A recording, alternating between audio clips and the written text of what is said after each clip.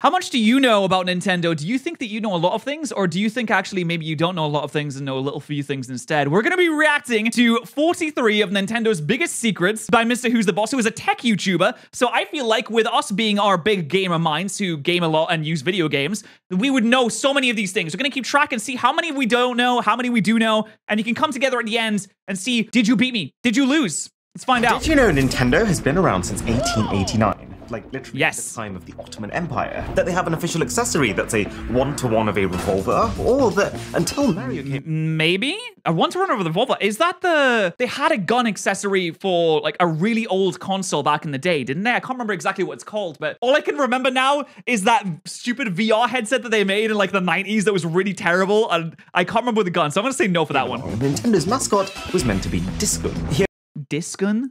Oh, it's really on the cute. manuals for lots of early games in Japan, but as soon as Nintendo saw people's reaction to Mario, he was very quickly buried, but has shown up in a lot of places as an Easter egg, including the surprisingly awesome Mario Bros. movie. Oh, that's cool. I, I genuinely had no idea about that, so now I'm gonna chalk that up one as a no. You know Nintendo, right? You think they're Yeah. this normal gaming company who made a couple of consoles? Well, Normal, uh, I don't know about that. Things that you didn't know that will completely switch that image right around. So All right, let's do it. What's Nintendo doing all the way back in 1889? I mean, They, I know what they're doing. They, I'm gonna chime in before he even says anything. They were making playing cards because the, you may not be- believe this. There were no video game back in 1889. They had to grow up without video game, no Mario, and even no Zelda. They were playing playing cards, doing Go They Fish. weren't making Mario Kart, that's for sure. This company actually started out making Hanafuda cards in Japan, which became really popular really quickly because the government had recently outlawed most forms of gambling, but Nintendo's Hanafuda managed to loophole their way around that. And The gambling laws in Japan are very interesting. Like you can't do any kind of real gambling, but you can go to pachinko areas and play on the pachinko machines and then take the rewards that you get from the pachinko machines and take it to a different area across the street into a different building into a different business and use those pachinko tokens to exchange for other things. So it's it's basically like gambling and you can get the rewards for gambling, but you you can't gamble. It's very strange. So, if you ever wondered what Nintendo actually means, it can either be translated to leave luck to heaven, a reference to gambling, or the more Whoa. literal Temple of Free Hanafuda, free emphasizing the fact that Nintendo's Hanafuda were allowed and not outlawed. But Why do Japanese companies have such cool names like Temple of Free or Leave It to Heaven, Leave Luck to Heaven? Whereas us in uh, the the Western countries in the UK, we've got bloody Poundland. America, McDonald's. What does that mean? It's it's just a name, After a few years McDonald's. this, something crazy happened. The president of Nintendo at the time, while visiting one of the company's Hanafuda factories, spotted this extending arm-like toy. It had been made I had one of those. maintenance engineers, Gunpei Yokoi, just for a bit of fun. But president loved it. And sensing that Nintendo was starting to reach their limits when it comes to playing cards, he ordered Yokoi to actually develop this toy into a real Nintendo product, just in time for the Christmas rush. So Oh, that's so cool. Wait, the the art for it is just a kid stealing his dad's wallet. He's like, "Oh yeah, steal your dad's wallet, guys. That's the one thing you're supposed to do with this: steal money from your parents." did, and it ended up being called the Ultra Hand. Thus, basically overnight, Ultra. Wait, the Ultra Hands? No, that's where they got the name for the mechanic in Zelda. It's called Ultra Hand. It's something that you can grab objects from from miles away, and it's in Zelda now. Oh, that's cool. I did not know that. Nintendo from a card company to a toy company, and this guy Gunpei from a regular maintenance guy to basically chief inventor. That turned out to be a pretty good decision, since he's Chief Inventor is a crazy name to have at any company. who later down the line ended up creating Nintendo's first ever handheld game console, the Game & Watch, the even more iconic? Game Boy, and he's also the one who's responsible for basically the entire way that Nintendo operates. You know how people always complain that compared to PlayStation and Xbox, Nintendo is consistently behind in terms of tech? That Yeah, yeah, I think that's on purpose because they want to keep the price lowered so that more families can purchase things. Maybe lower income families can get it for their kids and things like that. they never use the latest components. Well, This was Gunpei Yokoi's entire design philosophy that he called lateral thinking with withered technology. The idea that people don't need cutting edge tech to have fun. It just requires the company True. to do some out the box thinking. And if you can do that, you can have the same levels of success with far less cost. And they've kept that philosophy to this day. They still do that. They're like, ah, we don't have to have the best tech, but you know what? We have a handheld console that you can plug in, and now it's a TV console as well. Isn't that cool? Isn't that cool that you can do that? You don't need the latest iPhone to be able to enjoy Vimeo game. You just need it to be fun. you're looking for it, I apologize if I've ruined Nintendo for you, but you will see traces of this vision across every one of their products. This is why Nintendo's first Game & Watch used the same fixed image display as a calculator, and why But they did use cutting edge technology on the Wiimote. They must have used the latest motion technology to be able to get the Wiimote to work because the Wiimote is for 2007 a pretty sick piece of tech. Like it was very consistently usable. Today's Nintendo Switch released with a chipset that was two years old even when it launched. Am I happy about it? Not really. Is the Switch still my most played current console by far? Yes, it is. This guy Yokoi was Fair such enough. a big part of Nintendo's success over the years that Nintendo later decided to honor his contributions with a real video game titled Grill Off with Ultra Hand. And Okay. You can't steal your dad's wallet in that though, so what's the point? and wasn't the only toy Nintendo ended up making. Seeing the success of Lego in the late 1960s, who just introduced the concept of a wheel, which changed the entire paradigm of what was possible, Lego boring. Lego with wheel. Oh, that's crazy. What? The not with wheel? they started to think, yeah, we can do that too. And very shortly pivoted their efforts towards building their own Lego-like N&B building blocks. They had ads directly Nintendo Lego? blocks to Lego to show how their revolutionary circular design was more appealing. And Lego sued them. what? Nintendo actually won Oh, I guess it did look exactly the same as Lego, huh? There aren't really that many competitors to Lego. There's like building blocks, Mega Bloks is what it's called, I think. lawsuit, but only later realized, thanks to their very peed off customers, that actually the pieces all being so rounded made them work together much less well than Lego. It wasn't until Yeah, it does not look like something that would click together very well. 1977 that Nintendo's true trajectory was set when they released the Color TV game, their first ever video game console. With each version of the console only able to play one single game. Imagine that nowadays. Sony releases the PS6, says you can only play Gollum on it. Right. Yes, that'd be a no. I, what do you mean? That's such a good investment. What the hell? You can only play one game. If you can only play one game for the rest of your life, what would it be? It would have to be something that you can replay pretty much endlessly, something that is maybe online, something that is gonna last you a very long time, something that won't have its multiplayer servers shut down at some point because if they have them shut down, no more Vimeo game. So what would it be? I, I don't know. Maybe for me, it would be like Baldur's Gate 3, even though it just came out. So maybe I have recency bias. So that's basically Nintendo's history. Time for some surprising durability facts. I really hope we caught that. The Nintendo DS is the only console to have survived a trip all the way up to the top of Mount Everest. The moisture, the icy cold temperatures, the wind, the spilled curry apparently. Even when all other professional Spilled curry? the climbers were carrying failed, this is what lived on. During why were they taking all this electronic equipment to the top of Mount Everest? People just be going on holidays now. They really just be doing things. Gulf War in 1990, a medic had left his Game Boy in a tent, and that tent got bombed. Now, naturally, you'd assume any possession of yours that gets bombed is a write off, you'd throw it away. But just for what seemed like a bit of a sick joke, this medic decided to send his melted Game Boy in for repair when he got back. Seen this But image. then, I've seen this image. repair Yep. When they received this fried Game Boy and stuck a game of Tetris in just to try and see if it was even repairable, It still works. It wasn't just repairable, but it actually still worked. I can't believe it's still on. Do they constantly have this Game Boy on? I feel like no piece of tech now would work this long. Actually, my dad was in the Gulf War, so this is uh, interesting to me. It's very strange to hear that a random Game Boy got bombed in the same war that my dad was like currently fighting in. It's very strange. I wonder if he was close to the Game Boy. I'm gonna text him and be like, "Were you clo-? gonna send him a picture of this image and be like, "Do you recognize this Game Boy, Dad?" Oh, good work, Jenkins. Looks like we just made it out of the tent before it was exploded by the enemy. Wh- Did you save the Game Boy? Yeah, that was a close one. The, the Game Boy? Yeah, the, the Game Boy, the, the, the one with Tetris. No, I, I I thought the medical supplies would be more important. Oh man, I just got a new high score in that. But it gets crazier because the Game Boy was also the first console ever to be taken to space. In Space? I mean, oh, Of course you're gonna need Game Boy in space. What else are you gonna do in space apart from float? 1993, Russian cosmonaut Alexander Serebrov spent an astonishing 196 days in the Russian space station with the handheld and a copy of Tetris. Only Tetris? Oh man, you can be kind of bored. I guess you can play Tetris, Tetris kind of endlessly though. It's not like a game that you just finish and you're like, ah, that's it. You can just kind of keep playing it. Remind him what gravity feels like? Like all cosmonauts, I love sport. My particular he was like, oh, that's right. Of course. Thing go down. I've completely forgot that. The favorites are football and swimming. During flight, in rare minutes of leisure, I enjoy playing Game Boy. Wrote Nice. In an autographed note that accompanied the game and his Game Boy in a 2011 auction. Wait, wait, hold on. The 2011 auction, the first Game Boy that was flown in space by one of the first people ever to go to space only sold for $1,220. I'm sorry. You got shit selling for like tens of thousands of dollars in terms of just video game memorabilia.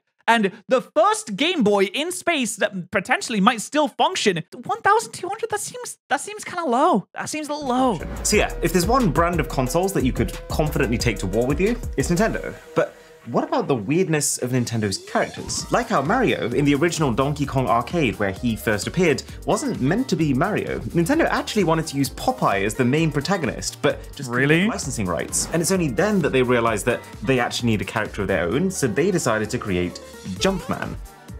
Yeah, I think the creative team were having a day off. But Jumpman, over the coming years, became Mario. And Mario, as a character now, has managed to sell Nintendo over 800 million video games. That's fucking Jesus Christ. Almost a billion, baby. Almost a billion. We're almost there. I genuinely think Popeye is one of the greatest old cartoons in the world. He shows off that masculine energy, but he's also respectful towards women. He gets them with the rock'em sock'em robot punch. He eats spinach, promoting healthy lifestyles. What does Popeye not Did have, truly? why Mario's gorilla nemesis is called Donkey Kong? Well, donkey in a Japanese to English dictionary is an adjective meaning stubborn. And Nintendo wanted to make it immediately obvious to passers-by at arcades that the enemy character is a stubborn ape. Zelda is named after the famous novelist and playwright I did not know that. Fitzgerald.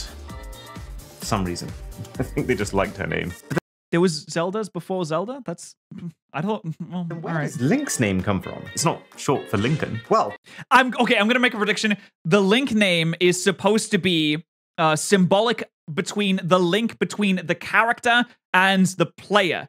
Link adds asks at Link is the link between the game and the person playing it. That's why it's called Link. Um, that's my prediction. very first Zelda game was originally going to feature time travel, with Link being the literal link between past and future. They Okay. did go on to use this concept in later Zelda games, but a lot of people didn't know that this was the intention right from the very beginning. I was close, I was close, I was close. Game box art in Japan versus the US, you'll notice his face is angrier in the US and He's pissed. in Japan. And this is intentional. Nintendo found from their market research that all demographics in Japan responded well to cuteness, but that in the US, they felt like they needed Kirby to be cool more than cute, because That's true. I mean, you see in Japan, uh, like everything has Hello Kitty merchandise everywhere. Just Hello Kitty all over the place. they didn't think that boys would play otherwise, which is hilarious since Kirby was very nearly going to be called Tinkle Popo. I don't think that would have been. Okay, Popo. Popo is a decent name. Tinkle Popo is not going to sell a single copy in America. You see, like an American young boy between 8 and 12 in the 90s in America, they're not going to be caught dead with a video called video game called Tinkle Popo. They'll get bullied for that, 100%. One of Nintendo's top lawyers, John Kirby, owned They could have been a going after the, the female audience potentially with that, though. I don't the know. exclusive worldwide right to name sailboats Donkey Kong as a very strange thank you gift for winning Nintendo a massive lawsuit. This was a huge case, by the way. What? Funnily enough, from Universal, who tried to sue them saying that Donkey Kong was fringing on the rights of King Kong. Oh, and they also bought him a $30,000 boat for him to name the Donkey Kong. Okay, is a thirty thousand dollar boat that good? I mean, I understand inflation. This is in the past, so inflation. But I feel like yachts are just insanely expensive. Maybe I've only seen like mega yachts though. A thirty thousand dollar boat. That's probably like a nice, a nice boat back in the day, right? That's less funny than this idea of a God given right of you, and only you can name your boat Donkey Kong. It's funny. But then also, notice something interesting about that guy's name John Kirby. So Oh. the reason that Kirby didn't end up being called Tinkle Popo was this guy right here. Damn, this guy has a stranglehold around Nintendo's balls. He's like, I am Donkey Kong. I am Kirby. Unsung hero. Right, just before we get to the Easter eggs, which, not gonna lie, is my absolute favorite thing, I wanna show you how, even though Nintendo does tend to stick to less cutting edge tech in their machines, that it's also impossible to deny how much they've innovated in their own way. They were the Okay. first to bring in the concept Whoa. of a D-pad Dude, the editing on this channel is just insane. There is no other channel that edits in the same way. It's fast paced, but also very clear. It's very clean. The movement is smooth. I would say the editing is very smooth on this channel. It's just uh, absolutely crazy. There's a reason he's one of the biggest tech YouTubers. I fucking love this channel. or directional pad. Funnily enough, also engineered by our guy Gunpei. Same for the analog stick, which appeared on the N64 in 1996 before That was the first analog Sony stick? or Sega could beat them to the punch. They Wow. mainstreamed the ability to save game progress Why did they put it there? They, they made the first analog stick and they put it somewhere where the hands just would not go. cartridges in the West. Instead of having to use floppy drives, they basically installed tiny batteries into the cartridges, which basically keep the game running in a really low power state when taken out, which is needed so that it doesn't reset to its original state without progress. These cartridge batteries have lasted 20, 30 years, with grown adults even now carrying on their childhood save files. I did not realize the batteries were to keep the cartridge functioning until they are next used. I thought the batteries were just, I, I don't know what I thought the batteries for. I just knew that the batteries were there and that when your battery runs out, you lose your save on Pokemon games. And people were sad about that. So you can replace the battery to make it last longer. I did not realize it kept it going. It's just like on. It's like on all the time. That's so cool. Nintendo made the first shoulder buttons, appearing on the Super Nintendo Entertainment System at a time where developers were scratching their heads thinking, what on earth do we do with all of these inputs? Which is Yeah, I guess Obama was a developer before he was president. because nowadays we have two times that. Nintendo introduced Controller Rumble in 1997 with the Rumble Pack for your N64 controllers. Dude, they just made everything to do with control. Is there anything that they didn't do apart from maybe like voice?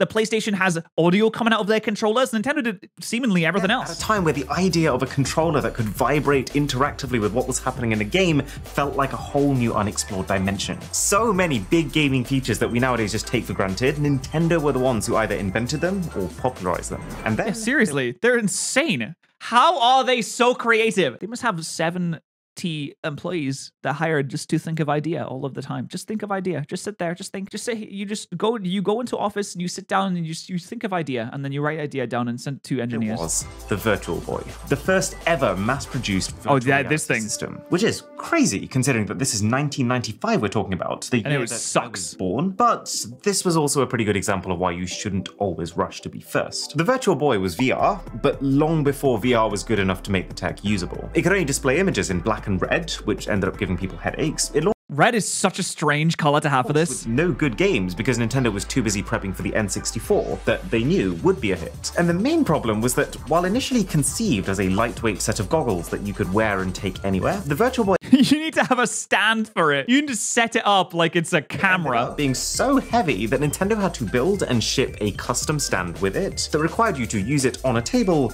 and lean into it. Make Nah, why don't you just have stronger neck muscles, honestly? Okay, it looks like the Virtual Boy is about ready to ship, but it says here it's 760 grams. Isn't that not a bit weighty? Yeah, of course. Why wouldn't it be? I don't think an eight-year-old's neck can support this. Oh, see, that's the problem with this generation. Weak neck muscles. Went like this back in my day. So we've talked a fair bit about the inventor, Gunpei Yokoi, but he isn't the only weirdly well-known Nintendo executive. Because, compared to other companies like Sony and Microsoft, who tend to keep one or two public-facing figures, Phil, I know Phil Spencer. Who the fuck is Jim Ryan? to put their developers at the front and center, to the point where they become almost as beloved as the company's actual characters. Like Shigeru Miyamoto, the creator of the Super Mario and the Legend of Zelda games. Legend. Basically the architect of a lot of people's childhoods. What I thought was so cool is that he created the original Zelda on NES as arguably the first open world game because he wanted to give players the same feeling he had as a kid, exploring outdoors in his hometown, especially the feeling It's crazy how many of these great video games have come from just childhood adventures and childhood dreams. Like Zelda came from someone going outside and fumbling around in the woods.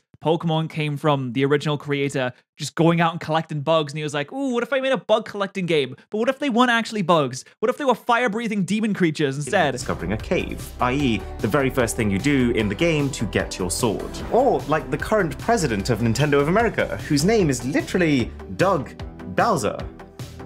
That's the fact. And fun as that is, even he has not yet lived up to the legendary meme overlord status of the previous Reggie. president of Nintendo America, Reggie Fils Amy. What? I think it's actually pronounced Reggie Fils-Aimé, but I prefer my version. So does Amy. who came in hard with his very first introduction to the fans at E E3 2004. And it's not just this. Reggie He's high energy, man. A golden moment. He's imposing on a stage as well. He just comes up, he's imposing, he's a big guy, and he just says words, and you're like, you know what, Reggie, I love you. Thank you so much. Like, My body is ready. which then became My Body is Reggie. And then him actually adopting the fan nickname of the Reginator. And then there's Satoru Iwata, who was the president Ah, the of the entire We love him. from 2002 until his tragic passing in 2015. There are a million stories you could tell about Iwata, like the fact that when the Wii U was failing and tanking Nintendo's entire stock value, he cut his own salary because they had to cut a lot of things from the company because Nintendo was doing really badly. And he was like, you know what? I'm going to be taking proper responsibility for how the company is performing right now, and I'm going to cut myself. Why can't other CEOs do that? Uh oh, we need to make some cuts. Looks like all of the workers are going to have to suffer for a bit. Not my bonus, though. Certainly not.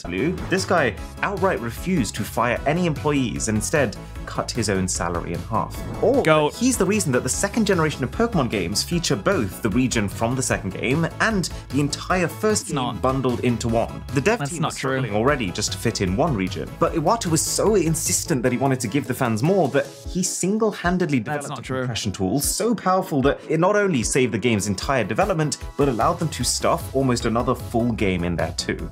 Okay, that one is not actually true. We actually watched a Did You Know Gaming video about this recently. It is not that he stuffed more into the game. He actually made a algorithm that took up more space on the game, but allowed it to run a lot faster. So instead of every single movement, every menu access, every battle enter and battle exit taking longer, it takes shorter. It was like speeding up the game. It made it faster, which I would argue actually is probably for the player's perspective a much better thing to do because you're respecting a player's time and you're making the game run faster rather than just stuffing more stuff into it. I I think that's probably a better thing that they did. And if you're enjoying this video, then a sub to the channel would be Nintendo Dopamine. yeah. No, okay. Sure. That's good. Okay, no, yeah. Launch, That was the good. Switch had a hidden Easter egg left in there by developers in memory of Iwata, a ROM of NES Golf, the first game he worked on at Nintendo, which would only appear when you And what a game. directly to you gesture with both Joy-Cons, which he would do at the start of every Nintendo Direct presentation. Speaking of NES Golf, Aw, that's Easter eggs, cute. no one seems to know this, but the golf course in Wii Sports, enjoyed by tens of millions, is actually the exact same course layout first created in NES Golf in 1987, but just now in 3D, which is both really cool to see the original ideas brought to life, and also one really smart way to save yourself drawing out new courses. They also Yeah, regardless of whether or not you like these, you can tell they put a lot of time and effort and just a lot of love into this. They, they really cared about what they were making here, regardless of, you know, whether it was super good or not. reuse those same courses for Clubhouse games on the Switch. The GameCube launch jingle has two secret alternatives. So this is what the normal one sounds like. Okay. But if Yep. you hold Z on your controller, it makes a squeaky dog sound. And then, if you What? plug in all four controllers and hold How? I, I, I had a GameCube. How do I not know this? Z on all of them, it turns into a traditional Japanese drum theme to honor the console's country of origin. What? I have never. I did not know this. What the fuck? All right. As an homage to the GameCube, when you have to press the same button three times to launch your current Nintendo Switch, I imagine most people just mash the A button, but if you press either ZR or ZL, or click in the sticks, it'll make similarly unusual sounds. If you boot up a DS Oh, on your so birthday, cool. the boot jingle will be more sparkly. On Wii U, your Mii's will sit there and applaud you. Also, Nintendo PictoChat will display a happy birthday message when you join a room. Oh, and this is so cool. this is all cute. It's the same thing as when you go to the Pokemon Center when it's your birthday in a Pokemon game. They're like, "Happy birthday," and I'm sitting there like, well, "How do you know that? How do you know it's my birthday? I've never told you my birthday before. You're just a random nurse that I met recently on the street. I don't even. I've never been here before. This is the first time I've ever even come to this town. I'm a. I'm a ten year old. How do you know my birthday? I'm. I'm call. I'm calling the police. I'm doing it. Police. This is weird. On the DSi's sound editor, if you record any sound and leave it idle for a minute, the console will remix that sound into the Super Mario Bros. theme. If you transfer your data from the Wii to the Wii U, the data will actually be carried by Pikmin, which are iconic I've done this. characters at this point. They put way more effort into this animation than they really needed to. The little goobas. I mean, who is transferring data like this on a regular basis? They they put so much time into that. The GameCube has a microscopic dolphin printed on one of its chips, referencing the fact that Dolphin was the console's codename during development. And if you've ever wondered, this is how And that's why the emulator is called Dolphin. That's the cute. Dolphin emulator that lets you play Nintendo games on other machines found its name. And another physical hidden Easter egg, which has got to be my favorite, since a lot of you can go and find this right now. If you tilt Yeah? your Switch Pro controller's right stick down, shine a torch at the top of it, you can just about see, thanks to all game fans printed on the circuit board. Oh my god, how do, this is crazy. I, how do you even find stuff like that? Who's doing that? I've learned something new today. You know what? I love these videos. I love the editing. I would highly recommend if you care about tech at all, go subscribe to Mr. Who's the Boss. Their videos are fantastic. If you want to see more of my dumb face, then you can always subscribe to this channel as well.